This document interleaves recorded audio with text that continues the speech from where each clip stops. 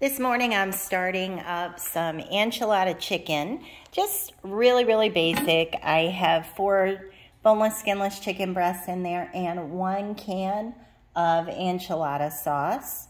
So I am gonna let that cook on high all day.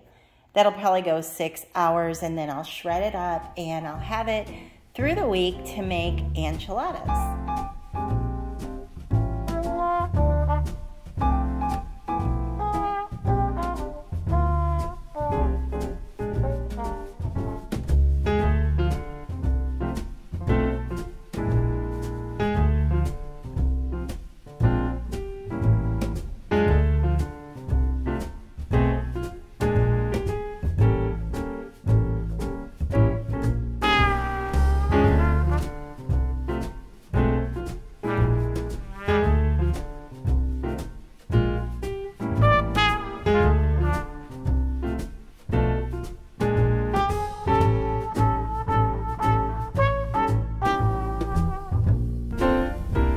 I'm leaving the house, the other house in Florida that we bought that we're renovating. So I am in charge of the decor and kind of the design.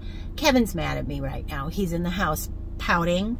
He's going to be out in a minute. But so I picked the one request I had was I want to have a bathtub where, I mean, I have to have good water pressure. I cannot stand low water pressure. So I picked out this faucet. Um, and it's got a little handheld thing to do my hair because my hair is long and I prefer to take a tub. But apparently the one I picked out has some kind of gauge on it that is withholding the water pressure. So it's like spitting in the tub.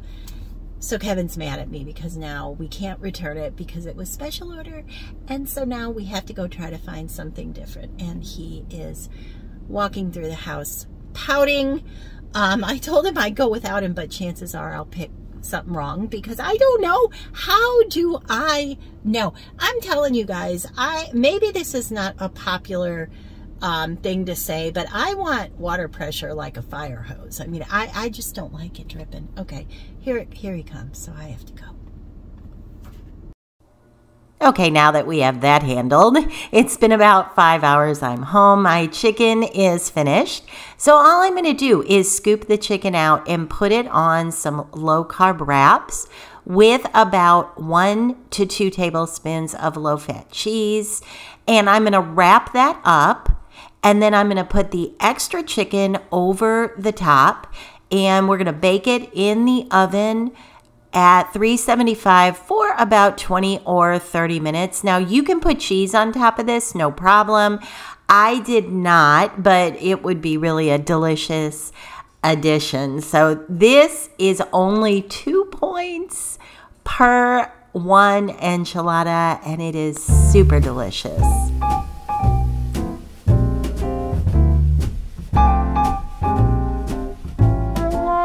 Today I'm going to be making my cowboy casserole.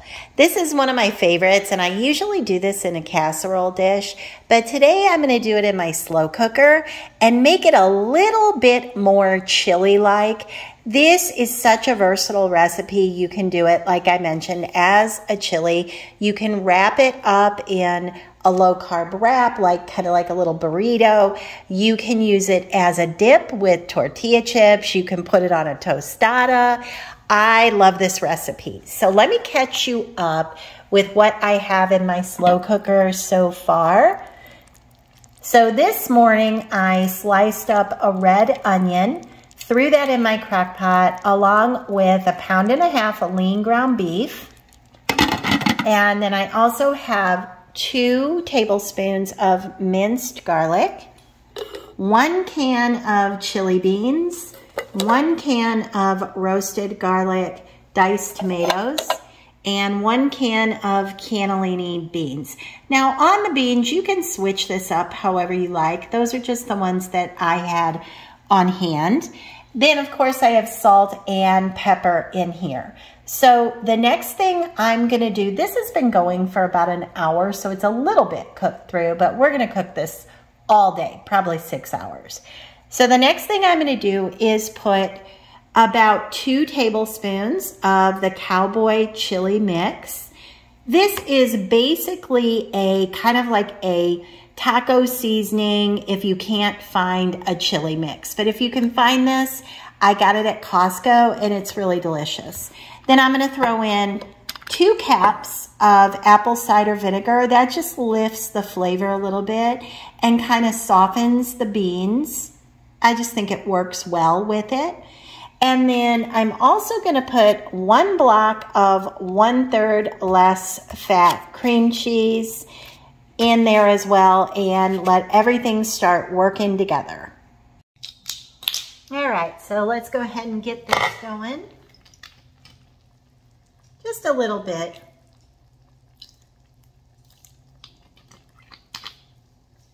And then we're gonna throw in our cream cheese. You could half this if you want to, but I am not a huge fan of melted shredded cheese, so I like the soft cheese, so I'm just gonna use the whole block. And then we're gonna put our cowboy chili mix in. And on this, you can do more than two tablespoons if you want to. Just kind of according to what you like, but I like to start a little bit light on it. All right, let's get that mixed up.